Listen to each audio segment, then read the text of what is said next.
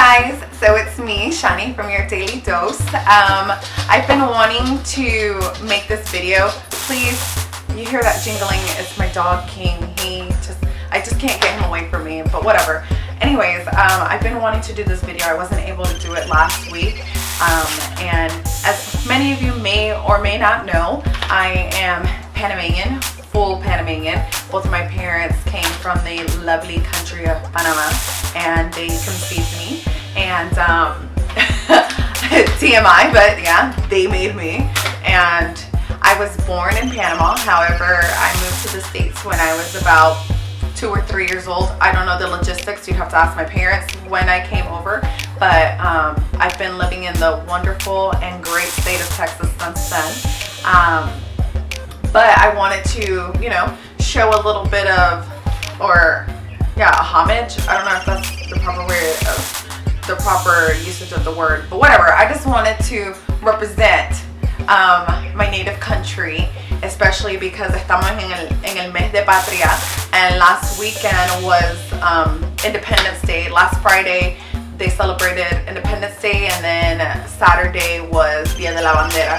So um, I just wanted to represent hardly home, but always repping.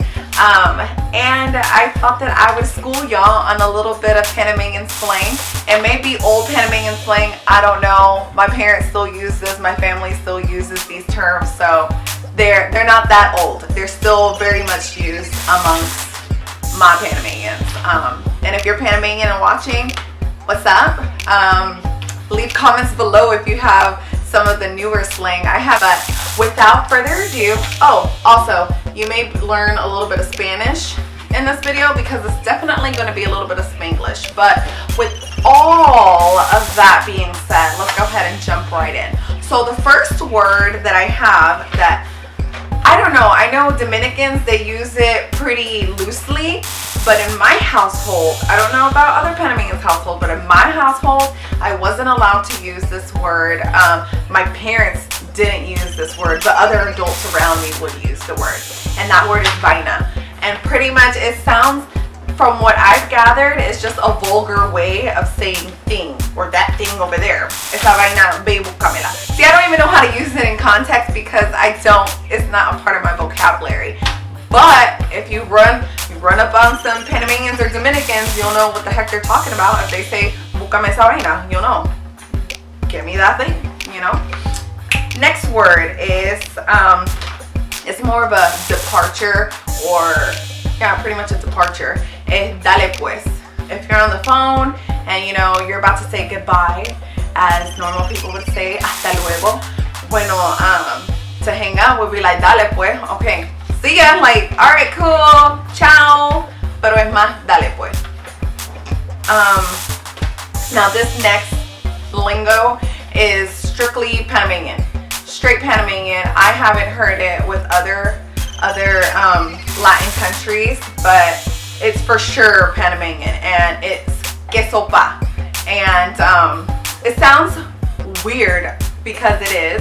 And it's pretty much, um, it's, I don't know, there's a lot of play on words of like putting things backwards, flipping it, flipping and reverse it. I mean, sorry, I had a Missy Elliott um, moment there, but whatever. They pretty much jumble the words, but quexopa is pretty much a greeting.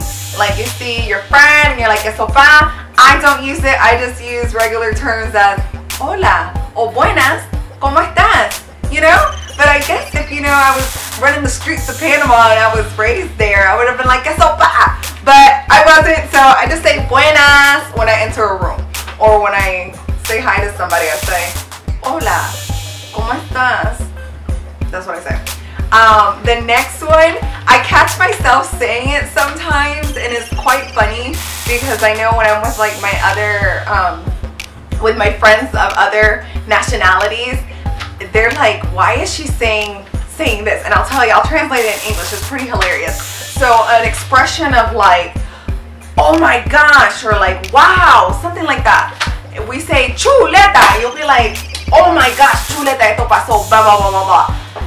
Chuleta is literally pork chop in English. so I have no idea how this happened. Maybe somebody was cooking one day and their freaking pork chop fell and they were upset and they're like, oh my gosh, chuleta, ¿qué pasó aquí? Ahora no tengo nada para pa cocinar porque la chuleta se cayó en el piso. So I'm thinking maybe that's where chuleta came from, but it's just an expression where you're like, oh my gosh, chuso or chuleta, you know, something like that. Um, use it. Let me know how that works out for you. Just or say it in English too. Be like, dang it, pork chop. Oh my gosh, pork chop. That reminds me of Doug. Was it Doug the cartoon that he had a dog named Pork Chops? I don't know. That's neither here nor there, but whatever. Use chuleta sometimes to be like, dang it, chuleta. Is pelado, pela, peladitos. If it's a bundle of children, you'll say esa peladita, ese peladito, o esos peladitos chuleta, you know. Ellos sí que me dan un, oh, they, they, they piss me off. But um, that's how you refer to the lovely blessings the Lord has shared upon us um, in Panamanian. Or, you know, niño, niña, um, nene, nena, that's kind of Puerto Ricanish. Um, but that's how you can, like, that's how you refer to children. Next word. I'm pretty sure that this is, like my tío uses this word, or no, no, no, I'm kidding. Yo creo que mi, mis y mis tías usan esta palabra todavía. That I didn't realize that they're literally saying pretty in English, is what they're saying. Y se dice pretty. P-R-I-T-T-I.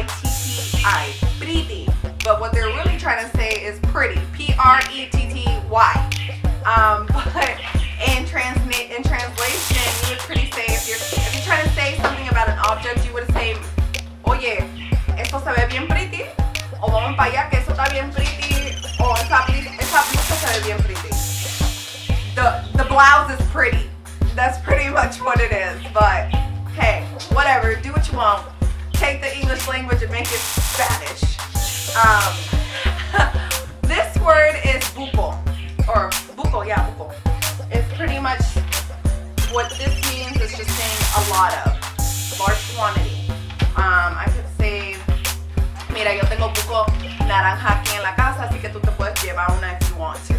Translation, I have a lot of oranges at home, so you can take a few if you want to. And I use oranges because I just gave her a baby shower, and the host, she had a whole bunch of oranges, and she just threw some in my purse, and was like, here, take it. I have so many. So it was quite funny. I forgot that she had put them in my purse, and when I got home, I was like, why the heck do I have random oranges? Like, I'm talking about like 15 oranges. Um, pretty cool. It's literally English, pero ponen ta, and now it became Spanish. Ta cool. And then you add an accent in there. It's not, it is cool. It's ta cool. Ta cool. Ta cool. It means it's cool. and then, um, chicha, that's your drink. Like jugo, like your natural drinks. Una, una chicha de, de tamarindo, una chicha de naranja, something like that. My favorite is una chicha de tamarindo. Um, and then you have yeye. If you hear somebody call you yeye, I think it depends on the tone. But then again, I don't think being, being called yeye is ever nice. But pretty much yeye is kind of like you're flashy. I take it as being stuck up or um, like you clearly think that your poop don't stink. That's what yeye is. So I don't know. Maybe they could tell you that out of like a form of endearment, but it depends on who it's coming from. Because if it's somebody that doesn't like you and they're saying that you're yeye, it's it's in a negative context. So be wary. Um, and then this is my favorite one. I didn't understand this when I was a kid, but my mom would always tell me, she'd be like, Shani, ve y acuéstate que voy a tomar echa un cinco. And I'd be like, what? And pretty much what that is, is I'm gonna take a nap. And being a child, you're like, okay, ella va a echar un cinco, so that's cinco minutos. So one, two, three, four, five. And I would wait, I remember I would wait five minutes and then I would go and open my mom's eyelids and I'd be like, Mommy, ya pasaron cinco minutos. And she'd be like, no, go back to sleep. So I don't know why my mom didn't sit down and explain to me que echar cinco is not literally echar un cinco. It's just, I'm going to take a nap. Because she probably had no good naps with me. And I'm sorry, Mommy. I feel your pain now because yo le digo a Liam que voy a echar un cinco and I don't even get un minuto. Next word we have mopri, and that's what you would, um, your cousin, or just your your close friends, you know, like your play cousins. You can also say it's mi mopri, or quexopa mopri. There you go. You can use that as well. Um, but that's basically your cousin. Tu, tu primo, prima. Yeah, it can be male cousin, female cousin, non-blood related cousin, just cousin.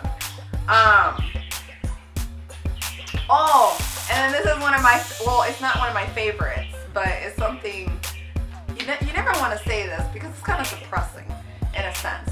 So, you know, you're broke. You just broke. You, you ain't got no fun. You say, estoy limpia or, or estoy pelada. One of those two. It's just like, look, I'm clean. My pockets are clean. That's how broke I am. Um, so if you hear somebody say that, don't invite them to go eat dinner or, or anything unless you're gonna be fronting it. Just, you know, you know, bless them with a meal. If they say estoy limpia or, or estoy pelada, no, they, they ain't got funds to do no fun things. um, and then this one, I think I've heard it in other other forms being said, but um, in Panama se dice bochinche. Um, other places is chisme or I think that's the only other way. But basically, bochinche is to gossip. And, um, or, you know, here's how you can use it. Um, you see your, your homegirl and you're like, hey, es que tengo, or, or you te, tengo esta cocoa. That's another one. And it's not cocoa. But hey, look at that. You know how now we say, oh, I got the tea for you? Well, now it's like, I got this hot chocolate for you. It's so sweet. You're going to be like, dang. So tengo esta cocoa tengo este bochinche para ti. Um, either way, you shouldn't be gossiping. That's bad. But but if you do gossip, well, you can tell your friends in a different way how you're going to gossip to them. Tell them, tengo este bochinche tengo esta cocoa para ti. And then, um, I think that's pretty much it. If you're Panamanian and I happen to miss something, which I'm pretty sure I did miss a couple words, or if there's some updated words, feel free to drop below and let me know what they are. Like I said, I try to go back to Panama every year or every two years, so maybe my slang is not as hip as it would be today. And if you are a Panamanian, what's up? Subscribe to my channel. Um, you know, um, support your fellow Panamanian. And don't forget to hit the little notification bell so that know you'll be notified that I uploaded another video because you're just dying for me to upload another video. So go ahead and do those two things for me. Um, leave a comment down below if you want to see more videos like this. Let me know. And until next time, I will see y'all then. Ciao. Or um, let me use a Panamanian slang. Palante.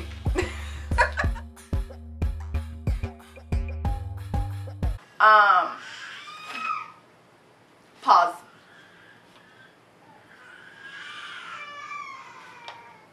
Liam's crying. I had him watching Trolls and I thought that was going to calm him while I could do this video. Let's see. It sounds like he's okay. Um, but as I was saying, maybe he's not because he's coming down the stairs. One moment. Really? Really, Liam? Párate de ahí. Go upstairs. And si vas a estar aquí, you need to be quiet.